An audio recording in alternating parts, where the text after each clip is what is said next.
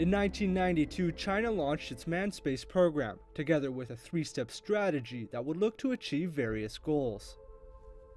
The first step was straightforward getting Chinese astronauts into outer space. There, they'd conduct space flights and numerous missions, and would ultimately return home safely.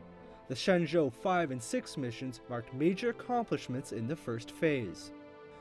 Step 2 saw yet another breakthrough. Key technologies were developed for extravehicular activities, while a rendezvous docking mission was completed in outer space. The second phase also called for a space lab for short term applications involving humans to be deployed. This was duly accomplished with four missions from the Shenzhou spacecraft series 7 to 10. And in September of 2016, the launching of the Tiangong 2 Space Lab saw China acquire the practical experience and technological know how of conducting long term space missions. However, challenges still remain. Resupplying and fueling the Space Lab are still tasks that need to be ironed out.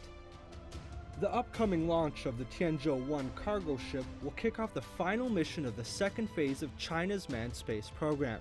It's expected to resupply the Tiangong 2 while leading China into its third and final phase. And in just a few years, in 2022, the third step of assembling and operating a fully functional space station will take place. By then, China will have conducted numerous long term spacewalks, missions, and much more. The country's experience in carrying out technological experiments in orbit will also have developed. But most importantly, China's achievements will be shared by all, as these steps forward will contribute to mankind's everlasting desire for space exploration.